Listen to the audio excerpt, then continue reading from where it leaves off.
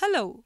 In the previous video, we drew a conclusion that human resource management may be defined as the policies, the practices, and systems that influence employees' behavior, attitudes, and performance. Let us take a look at the research results of Hay Group regarding a comparison of performance of employees. While comparing companies where employees are highly engaged through communication and leadership and highly enabled, that is, carefully selected for well designed jobs with adequate resources and training. Now, comparing these with low engagement and low enabled companies, the Hay Group found big differences.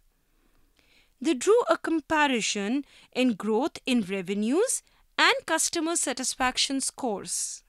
Well, the high engagement companies scored two and a half times greater than low engagement companies in growth in revenues and four and a half times greater where companies had high engagement and high enablement at the same time.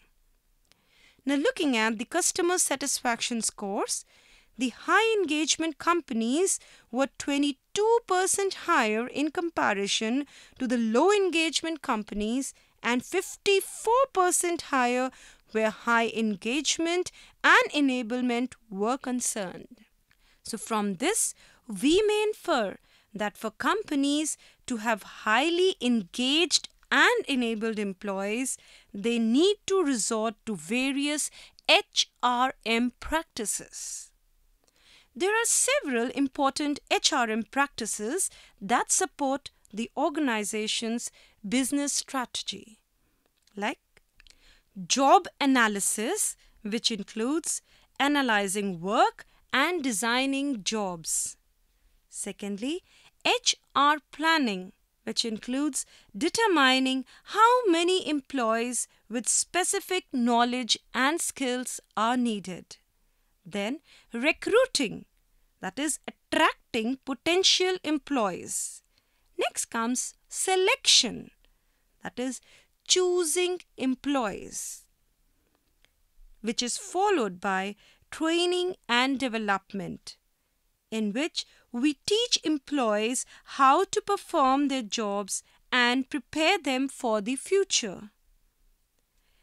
Then, performance management, in which we evaluate the performance of the employees. And obviously, compensation, that is, rewarding the employees. And then, employee relations, that is, creating a positive work environment. An organization performs well when all the HRM practices are managed well. At companies with effective HRM, employees and customers tend to be more satisfied, and the companies tend to be more innovative and have a greater productivity. In the next video, we will discuss these HRM practices in detail.